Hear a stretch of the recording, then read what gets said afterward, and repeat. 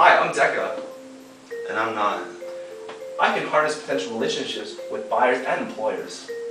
Well, I never had an interview. As a DECA member, I can learn about potential workplace and build upon relationships and networking.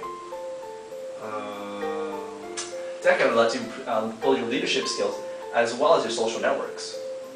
well, I have networks too, as well as friends. Does that count? Employers recognize DECA's Ist egal.